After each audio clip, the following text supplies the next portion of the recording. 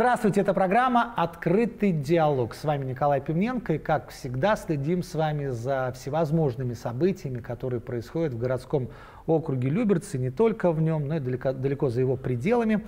А сегодня мы пригласили в студию равина общины Бейт Марина городского округа Люберцы, а именно у нас в студии Маше Астрин, который, э, собственно говоря, и ответит на те вопросы, которые, я думаю, будут интересовать э, многих, потому что не так часто нас Равин посещает. Но, во-первых, э, сразу же хочу адресовать такой вопрос. Он, мы его задаем всем. Год 2020 сложный, э, пандемийный получился. Как мы его не будем вспоминать, он навсегда войдет в историю. Э, это как-то ударило по общине? Как-то изменились ваши правила? И как община провела этот год 2020? Ну, вообще, по еврейским общинам в мире э, пандемия ударила очень тяжело. Угу. Мы понесли огромные совершенно утраты, совершенно неусполнимые, ушли люди очень нам дорогие, э, очень важные, и это действительно, так сказать, тяжелейший год в этом плане. Вот. В том числе пострадала, в общем-то, отчасти и московская община тоже в целом. Угу. Но относительно вот нашей общины в Люберцах мы, слава богу, отделались малой кровью, что называется. Mm. У нас э, некоторое время был карантин, Э, вот сейчас мы возобновили в очень ограниченном таком э, масштабе работу. Э, у нас собирается периодически миньян, не больше миньяна, то есть у нас собирается 10 человек, которые нужны для молитвы. Угу. Мы рассаживаемся вдалеке, одеваем маски, когда хорошая погода, стараемся молиться на улице. Mm-hmm. Вот, это все те меры, которые нужно предпринимать, и мы стараемся это все выполнять честно, как полагается. Вот, а ну, Роспотребнадзор за вами да, конечно, следит? Конечно, Может прийти конечно. человек, который это проверит, да? Безусловно, естественно, мы общественная организация, зарегистрированы, все открыто. Вот, но стараемся делать это не для Роспотребнадзора, а для того, чтобы, не дай бог, кто-нибудь не заболел. И, в общем-то, относительно нас, э, слава богу, ну и ситуация обходит. Как всем э, представителям различных религиозных направлений, я задаю еще один вопрос. Скажите, а почему к нам пришел этот вирус? Нас за что-то хотят наказать? Вы знаете, здесь есть две стороны. Как бы, да? Одна – это вопрос не для равина, а скорее для, может быть, исследователей или для историка медицины, генетика. Я совершенно не знаю генезис этого вируса. А я как раз как вот он, со стороны равина. Я не конспиролог. Да. А, теперь, а, с религиозной точки зрения, любые события, которые в жизни происходят, это всегда какой-то новый урок, какое-то новое испытание. Угу. И, а, безусловно, мир а, вот сейчас необратимо, видимо, изменился. Угу. И, безусловно, это нас должно было чему-то научить. Ну, прежде всего, я здесь вижу очень важный урок, когда то, что мы очень мало ценили, возможность общаться, возможность быть в контакте друг с другом, э, возможность приходить и молиться в том числе, выполнять заповеди, э, вот, поскольку недостаточно ценили, у нас это забрали. Mm-hmm. И теперь нам приходится совершенно уже сказать, на других основаниях просить, молиться, чтобы нам это вернули, вернули обратно. обратно да. вот, это один момент. Второй момент, конечно, это совершенно другая стоимость коммуникации. Коммуникация – это очень большая ценность, которую мы тоже пренебрегали, использовали ее не всегда хорошо. Вот. А это на самом деле одна из базисных, основных, важнейших э, ценностей. Человеку глазеть, глядеть в глаза другого человека mm-hmm. это необходимо, это как кислород. Mm-hmm. И кислород, и общение, они сейчас стали одинаково, к сожалению, в дефиците. Да. Поэтому, э, так сказать, вот я думаю, что когда мы этот урок сможем вот, видите, такое очень хорошее слово ляпним, как бы, да, mm. есть принять в себя, mm. uh, осмыслить. Ну, вот, к нам это с Божьей помощью вернется. Я, то есть ну, вы верите, что, что, что все-таки Мир будет таким, как раньше, не сомневаюсь. Да. Э, И мы не будем ходить в масках. В масках мы, безусловно, ходить не будем, но вот что люди останутся по-прежнему работать дома, что появится больше удаленных офисов, я почти не сомневаюсь. Потому что этот опыт оказался чем-то положительным. А вот церковь, а, я имею в виду вот религиозная составляющая, в том числе и а, те люди, которые приходили и будут приходить молиться к вам, как устроить эту работу? Вот я говорил, и с представителями других религиозных направлений, все-таки любая религия подразумевает некое скопление людей. Не, не в том смысле слова толпа, да, ни в коем случае, а в смысле некого, некого единения, да, когда мы все вместе э, молимся или какие-то решаем вопросы. Вот э, как это вернуть? Э, вы знаете, в иудаизме есть такое понятие очень важное, называется миньян. Миньян – это как раз-таки общественная молитва, статус общественной молитвы. Mm-hmm. Есть общее представление о том, что вот 10 взрослых евреев – это какая-то частичка, ячейка народа Израиля. И вот в этом собрании людей можно произносить определенные имена Всевышнего. Это место, где может осветиться имя Творца. Mm-hmm. И для общественной молитвы вот минимум это 10 евреев. Mm-hmm. И, Такое представительство. Да, ага. да, да. И вот э, эта пандемия, она показала очень много нюансов, которые мы раньше просто не знали, не думали о них. Э, и мудрецы, так сказать, вывели вот очень много новых аллахот. Ну, во-первых, э, молитва на открытом воздухе с остановкой людей на большом расстоянии, как выяснилось, это вполне, так сказать, рабочий э, формат. Да, рабочий вот. формат Кроме да. того, в некоторых обстоятельствах разрешается проводить частью какие-то общие молитвы через, через Zoom, когда это происходит одновременно. Угу. Есть возможность каких-то вот симультанных каких-то вещей. То есть появились очень много каких-то вот новых форм, форм работы.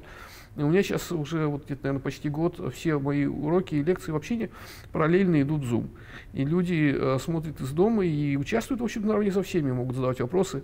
Более того, это входит в общую обойму. Есть э, целая платформа э, раввинов э, Конгресса еврейских религиозных общин России, где, наверное, ну, не знаю, 8 или 9 человек не очень много, но тем не менее, вот мы регулярно даем свое расписание, и желающие могут подключаться к любым урокам. То есть даже теперь вы, э, вас, к вам, вернее, больше доступа, чем это, например, В каком-то смысле, да. То есть человек mm-hmm. может прийти с улицы туда, куда он никогда в жизни, может быть, не пошел бы пешком, там, да, узнавать, где это.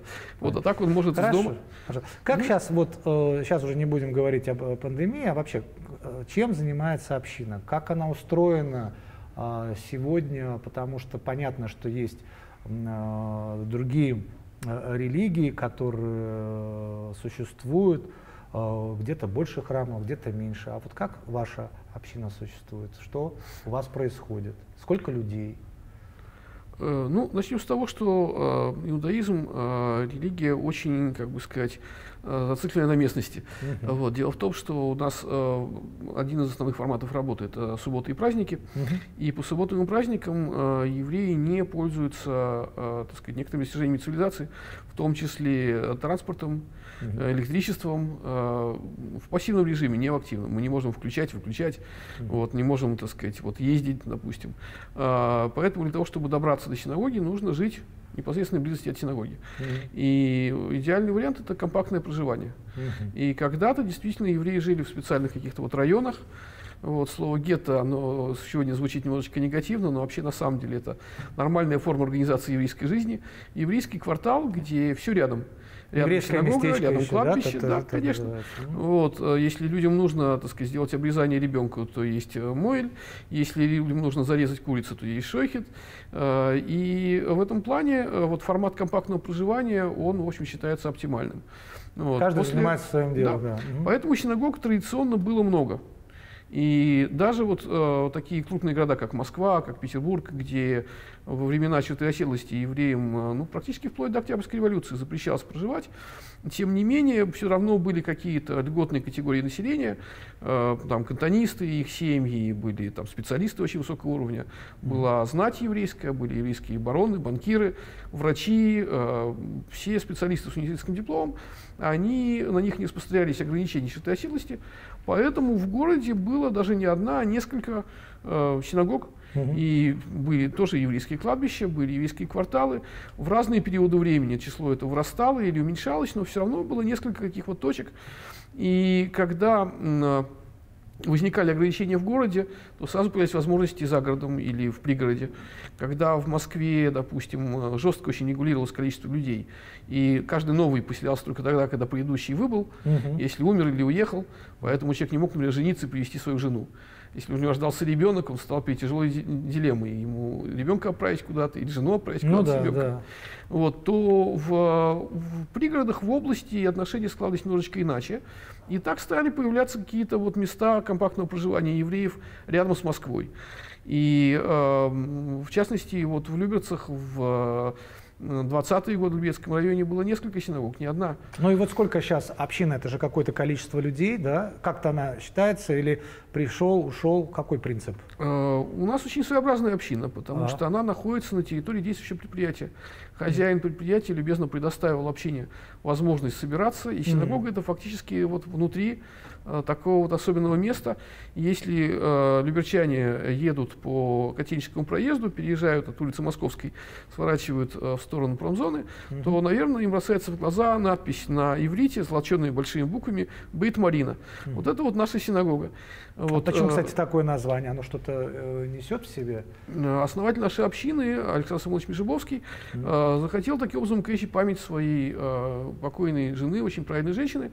И поэтому вот такое своеобразное название. Это в честь а Марины это Соломонны. разрешено, да? Да, вот? да. Угу. В честь Марины Соломонны Меджибовской. Угу. Вот, поэтому Бейт Марина, дом, дом Марины. Это такое вот увековечивание своеобразное ее памяти. И, так сказать, вот наша община, она несет ее имя. Ну, мы еще вспомним, что Ханука 10 да, да, декабря, да, но это во второй части нашей очень программы. программы да. Но вот в завершении этой первой части, а, вот а, вы как а, Равин, вы видите, как вот за эти 8 лет люди меняются, как вообще не происходит жизнь?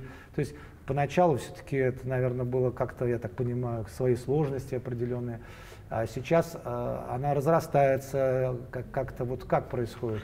Вы знаете, община, Или это кажется, очень закрытый взрослеет. такой мир? Э, я могу сказать, что я, к сожалению, не очень давно. Я относительно э, недавно вообще не полтора года. Э, вот из этого большого относительно пути я только четверть, получается, нахожусь в общине.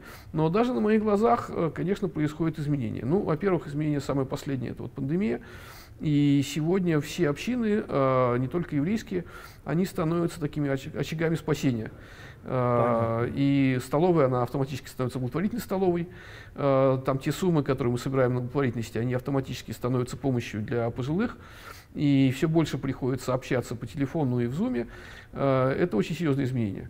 Вот. Кроме того, слава богу, подрастают семьи. Если раньше приходили в общину, допустим, молодые и часто одинокие юноши, девушки, то сегодня они приходят уже с детьми. Mm-hmm. И вот новое относительно, в кавычках, приобретение нашей общины, у нас, слава богу, заработал детский клуб. Mm-hmm. Это очень здорово. Вот, детский клуб, семейный клуб появился. Но вообще э, так сложилось, что вот последние десятилетия многие еврейские общины это все-таки место, куда приходят люди одинокие. Э, так складывается, потому что ищут пару, ага. потому что есть время, потому что есть возможности, и есть какой-то интерес который можно там э, и находят. закрыть. И находят. И находят. Но вот, слава богу, сейчас новое явление. Сейчас появляться уже семьи с подросшими детьми. Понятно. И это совершенно новый этап. Да, и дети, конечно, по-другому реагируют. Сейчас сделаем небольшую паузу. Напомню, что у нас в гостях Маше Эстрин, раввин общины Бет Марина в городском округе Люберцы. А во второй части поговорим уже о проектах, которые община осуществляет, в том числе или принимает в них участие. Ну и, конечно же, вспомним о том, что 10 декабря Ханука.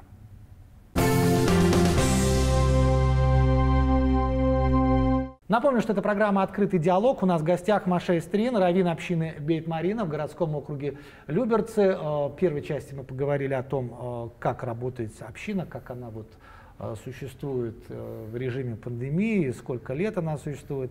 Ну а теперь поговорим уже о проектах. Да? Вы немножко коснулись вот некая благотворительность, такой проект внутри, может быть, общины, но 27 января в мире отмечается Международный день Холокоста – я знаю, что у вас подготовлена какая-то выставка, или, по крайней мере, вы к этому имеете непосредственное отношение. Вот расскажите немножко об этой выставке и, естественно, поговорим о Холокосте в том числе. Э, у нас э, в это воскресенье в 3 часа дня 28 э, ноября, получается, да, сказать, вот откроется выставка, посвященная Холокосту. Угу. Я пока видел ее только в собранном виде. Угу. Вот, надеюсь, что будет очень интересно, потому что я слышал от устроителей выставки, что там действительно совершенно уникальные экспонаты. Угу. Будет встреча с автором, создателем этой выставки, писателем, который есть несколько своих исследовательских каких-то книг по Холокосту. Вот. И в целом это какая-то вот очень важная интегральная часть деятельности еврейской общины, потому что, как мне кажется, Холокост — это повод поговорить вообще о положении человека в мире, об отношениях между людьми, о толерантности. Вот. В целом, как мне кажется, это повод э, начать какой-то очень серьезный диалог о месте человека в мире, об отношениях между разными людьми разных религий, разных национальностей, э, как должны складываться эти отношения, как должен протекать э, диалог. И мне кажется, что это очень важно. В наше время, к сожалению, не а. все спокойно. А вот все выставка, спокойно. она состоит из документов, я так понимаю, каких-то фотографий. Как, как она? Фотографии и плакаты. Фотографии и плакаты. Но я тогда э, сложный, серьезный вопрос задаю, потому что, к сожалению, вот это страшное словосочетание окончательное решение еврейского вопроса, э, которое известно с тех самых времен, и, к сожалению, э, в последнее время в некоторых странах она иногда, так сказать, поднимают голову так, так называемые неонацисты и так далее. Вот скажите, на сегодняшний день есть э, опасность возвращения какого-либо э, геноцида вообще э, по ну, отношению к любому народу? Э, ну, мне кажется, что опасность геноцида, она никогда не уходила, mm-hmm. и она всегда где-то присутствует очень близко. Э, То есть вакцины против нее нет, к сожалению, пока? Пока, по крайней мере, незаметно. Mm-hmm. Вот, и вот у нас э, тоже, так сказать, один из, одна из тем, которую вы уже, так сказать, назвали, это ближайший праздник, праздник Ханука. Mm-hmm. Вот он тоже имеет самое прямое отношение к теме, в том числе и Холокоста. Вот, дело в том, что в иудаизме есть какое-то универсальное звено. Э, то, что связывает э, иудаизм в целом с э, мировой культурой, с общим мировым каким-то процессом. И есть что-то такое, что обособляет, обособляет евреев. Mm-hmm. Это религия, она религия мононациональная. Mm-hmm. У нас нету э, миссионерства, нам даже mm-hmm. запрещено. Да. Мы не пытаемся людей из других религий, из других народов привлекать к нам, хотя с удовольствием всегда рассказываем, информируем, показываем э, вот все, что касается нашей традиции, нашей религии. Э, и э, в свое время после э, завоевания Александра Македонского э, наследниками империи Александра, династии Антиоха и Епифана, была сделана попытка эллинизировать евреев путем увлечения их в какой-то общественный процесс, так, чтобы евреи стали бы частью большого мира. И э, в целом поначалу это было воспринято с, большим, с большим энтузиазмом обоими странами. Угу. И произошло действительно сближение. Причем в этом сближении участвовали евреи с большой охотой. Э, пока это сближение не стало грозить уничтожением. Угу. И тогда, э, так сказать, э, началось уже отторжение. Угу. И с одной стороны, греческие правители э, еврейского народа начали навязывать очень жесткие ограничения на соблюдение заповедей еврейской лиги, причем именно символические заповеди, те, которые отделяют евреев от других. Они потребовали уничтожить вот именно те вещи, которые превращают евреев в отдельный народ. Mm-hmm. И это вызвало колоссальнейшее противодействие среди евреев. И на какой-то момент началось восстание. Это восстание буквально началось с одной очень маленькой группы людей, с одной семьи и оно охватило очень скоро практически весь народ.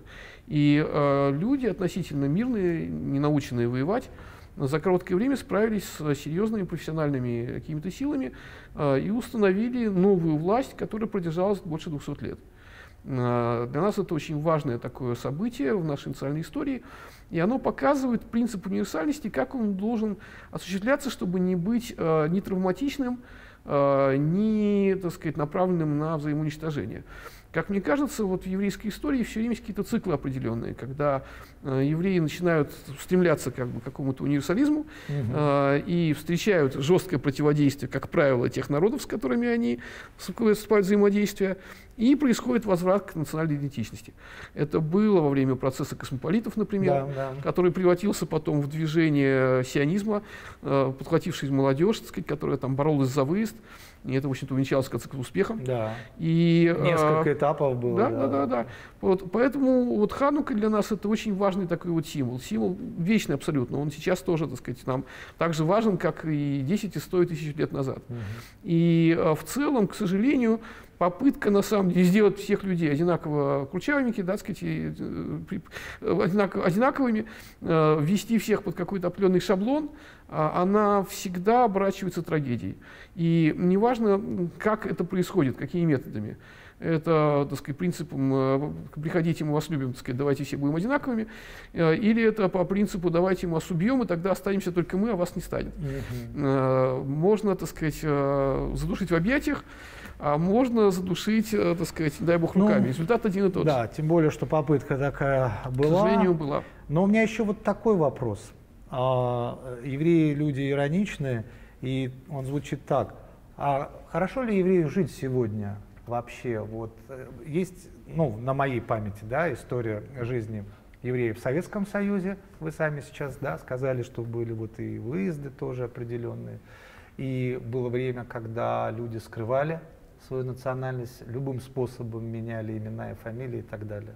И вот как сегодня в сравнении – что-то изменилось или остались какие-то еще отрицательные аспекты, или, может быть, что-то наоборот в положительном направлении?